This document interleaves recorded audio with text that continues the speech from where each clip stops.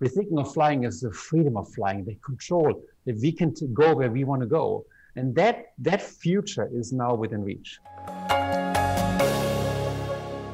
This then gets to uh, what we'll call uh, flying vehicles. I know there's a technical term, eVTOLs or whatever, but uh, this could be even uh, more of a breakthrough than, uh, than the autonomous automobile.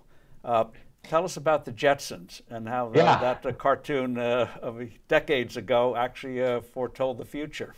1962 with the Jetsons is so amazing how popular culture kind of pre-guesses the great technology inventions long before they happened over and over again. Um, so the Jetsons had this beautiful flying saucer and, and it really freed them from traffic and gave an amazing capability. Um, fast forward 2020, we now have incredibly good battery technology uh, that allows us to build vehicles with many, many rotors, akin of like a drone-like person, a drone-like vehicle big enough to carry a person. Um, and those can now take off vertically, very quietly, fly roughly 100 miles on a single charge and land again. And that's significant because there's a vision here that in the future, traffic will not be on the ground, but it'll be like 500 feet in the air. Why is that good? Well, for one, 500 feet in the air, you can go in a straight line. There's no trees in the way or buildings. So you have much more volume where you can navigate. And it could be uh, environmentally more friendly. The best vehicles we build today are roughly twice as good in terms of energy consumption than the best electric cars today. So I see a vision where cities will not have streets anymore, but they have small landing pads, and we all use essentially, yeah, the Jetsons technology. So uh, the flying vehicle is not uh, uh, wings on our automobile that sprout out. It's more, as you pointed out, like a helicopter.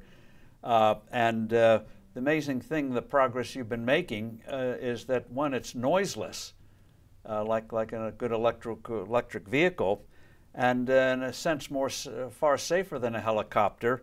I think you, uh, uh, uh, I'm going to get it wrong here, but there's a bolt in a helicopter. I guess they call it the Jesus bolt or something, where if it goes wrong, by golly, you're, you're, you're doomed.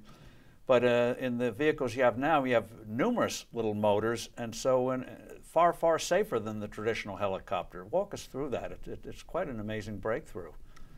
Yeah, Steve, that, that, thanks for saying this. We are still at the beginning of it, to be honest. We haven't established that it's really safer. But here's the reason why we should think uh, this technology would be better. Helicopters are actually great, and we would use them every day, all of us, if it wasn't for three reasons. Number one, they're really expensive. They're for rich people. Number two, they're insanely noisy. Most cities hate them. And number three, they're very, very unsafe. If you look at the safety record of helicopters, it's about the same as motorcycles. That's really, really bad. Um, the reason why this new technology can beat all these things, first, it's already shown to be quiet. It's electrically driven. So you don't have this noisy combustion engine. Um, number two, um, the costs of these vehicles are much, much lower. It turns out electromotors are much cheaper than gas turbines. And in terms of safety, these systems are highly redundant. The moment you go electric, it is completely conceivable that you have like 10 different lift fans as opposed to just one big uh, propeller for the helicopter. And if you lose one of those, you still have nine left and you're still perfectly safe.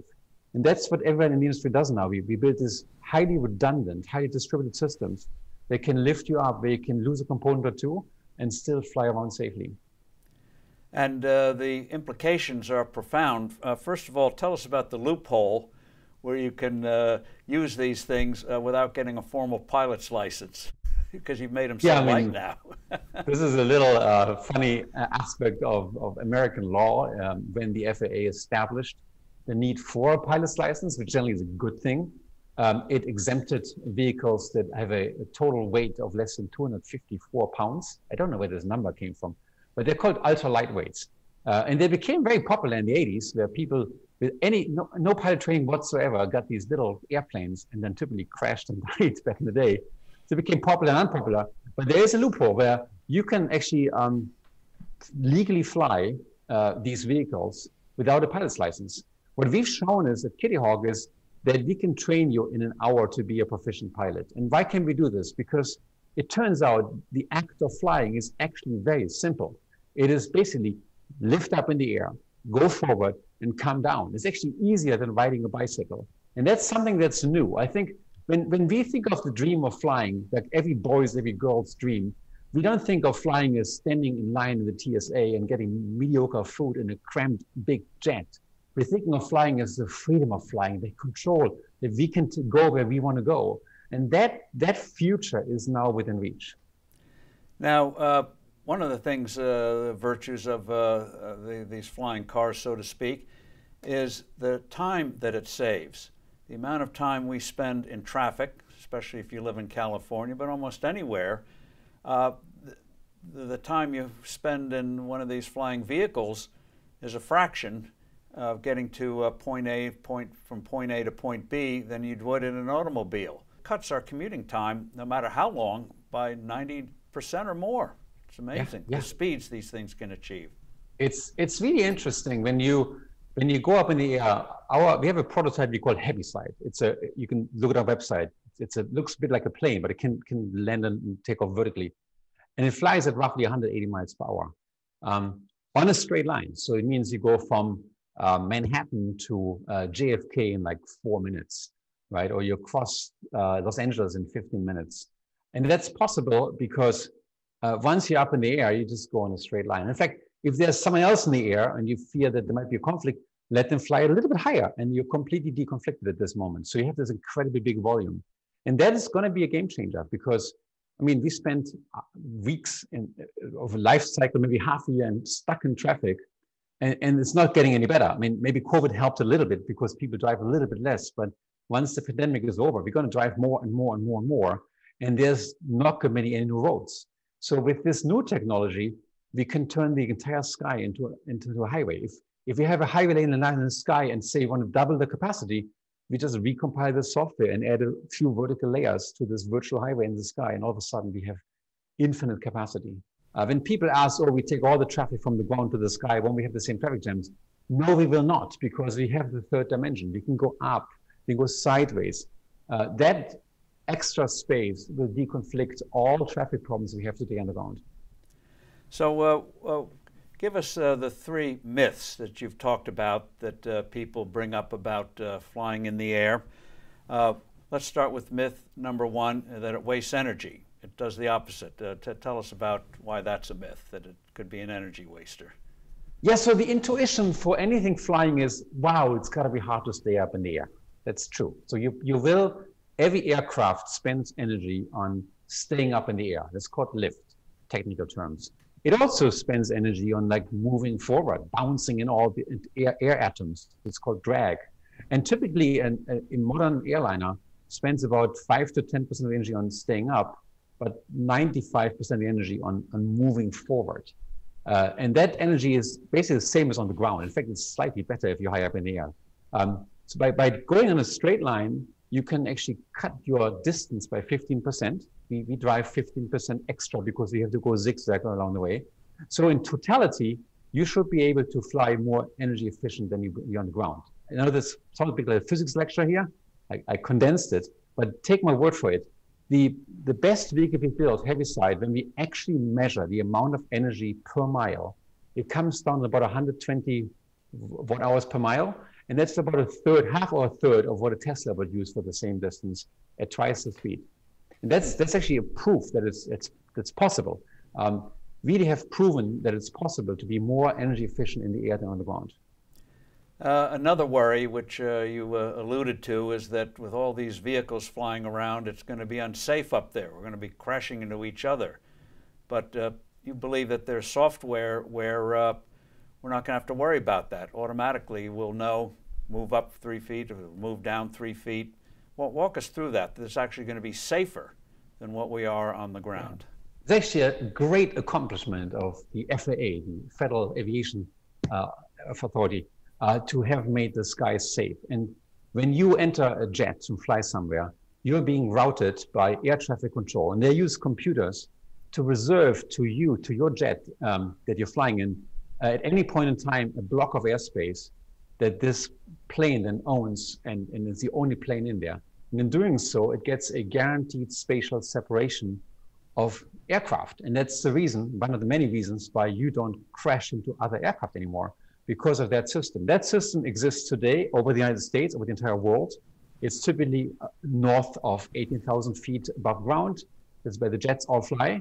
And that same logic can be done over a city. You can hypothetically, in your brain, split up the airspace over a town into little cubes.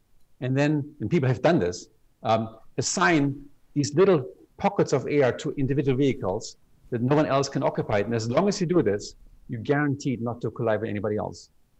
It's amazing. And on the uh, congestion, uh, the, the worry there that we'll crash into each other, you've uh, made the point we don't realize how much space there are there is in space in the clouds. And uh, that 1.7 million versus uh, 64 cars in a thousand uh, feet is quite illustrative of that. So th those three myths go by the boards. Uh, what about practical things like uh, weather? We all know turbulence in aircraft. Will the software software being developed where uh, we won't be able to fly if the wind turbulence is at a certain level? How, how, how do we cope with the weather? These are all challenges that we've addressed and basically solved for commercial aviation. Uh, yes, thunderstorms, updrafts, icing, clouds, these are all technical challenges. In the field of eVTOL, the field of what you call, Steve, flying cars, is working through them right now, but they have proven technological solutions. Um, perhaps the most severe weather phenomenon that affects us regularly in the United States are thunderstorms, and those are terrible to fly into. They can break your plane apart. And what we've developed over the years is weather radar systems that can track those thunderstorms very, very accurately. And we actually instruct commercial pilots to fly around them. You might not know this, but you're not going to fly through a thunderstorm we can use the exact same technology for these eVTOL cars. In fact, thunderstorms are less violent close to the ground than they be up in higher in the atmosphere. Hmm. And uh, then uh, there's the challenge of uh, air traffic control. You mentioned the FAA, but it is still highly inefficient. It's dependent on people. People can get tired. They have to talk to the pilots saying, uh, do this, hold that. And uh, if we're going to have all these millions of vehicles in the air, obviously that's got to be done uh, by software, not by uh, people in control towers trying to keep track of where we're going.